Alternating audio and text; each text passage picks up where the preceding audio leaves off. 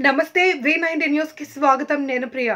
పోచారం శంభురెడ్డి తల్లిదండ్రులు రాజిరెడ్డి పాపవ్వ జ్ఞాపకార్థం కామారెడ్డి జిల్లా బాన్సువాడ పట్టణంలోని మినీ స్టేడియంలో నిర్వహిస్తున్న ప్రో కబడ్డీ పోటీలకు తెలంగాణ రాష్ట్ర శాసన సభాపతి పోచారం శ్రీనివాస్ రెడ్డి నాయకులు పోచారం శంభురెడ్డి పాల్గొని విజేతలకు ఈరోజు బహుమతులను అందజేశారు. ఉమ్మడి నిజామాబాద్ జిల్లా స్థాయిలో గత మూడు రోజులుగా జరుగుతున్న ఈ ప్రో కబడ్డీ పోటీలలో ఫైనల్ మ్యాచ్లు జరగగా ముందుగా స్టేడియంకు చేరుకున్న స్పీకర్ పోచారం ఫైనల్ మ్యాచ్లను తిలకించారు.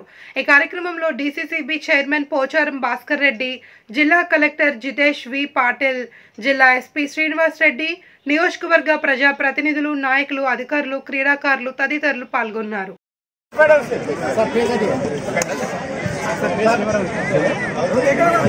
Bhaskar Reddy.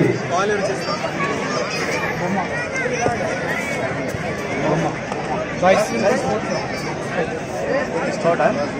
Passed by police fighter. Choose court.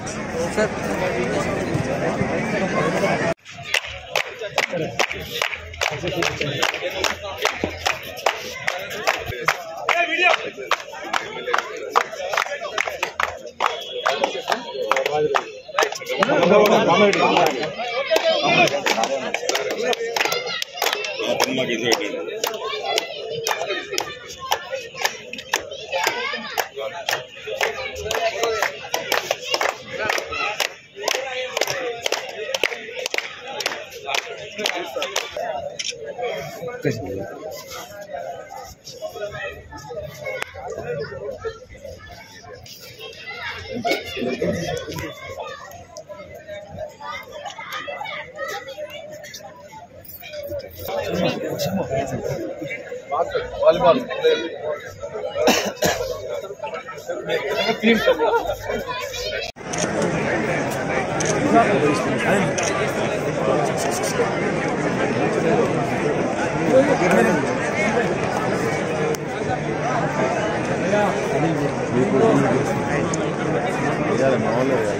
వీళ్ళేమన్నా మూడు ఫోటోలు వస్తాయి మీరంతా మీద రాస్తారు మీరైతే మాకు ఎంట్రీ చెప్పొచ్చు